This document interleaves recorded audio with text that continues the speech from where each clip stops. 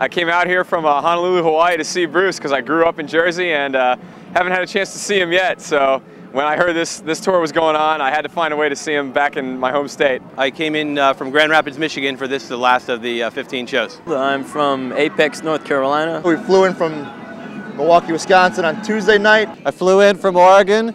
I drove down from Montreal. I'm from Sweden. I mean, it's it's like a party. It's a big time tailgate party.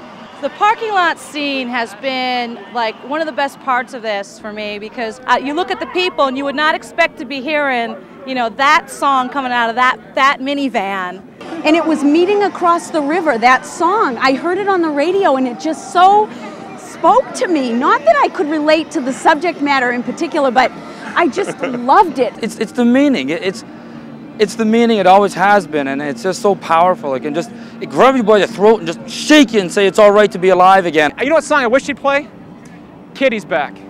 Here she comes. Wouldn't that be a killer? All you hear in Canada is the Jersey jokes, you know what I mean? That's a, and uh, you know the only good thing about Jersey is leaving and stuff like that. And to be a Springsteen fan for so long and to be at the Stone Pony and all that kind of stuff, it you know, you're probably go into Jersey and see it through different eyes. Jersey's been his inspiration for 25 years, and I think the other way around, New Jersey's lived off him for a long time.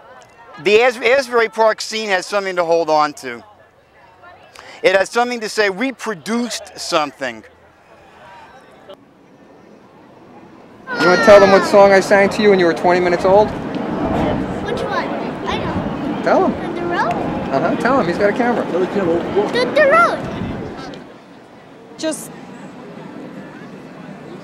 very magical summer, summer of 99.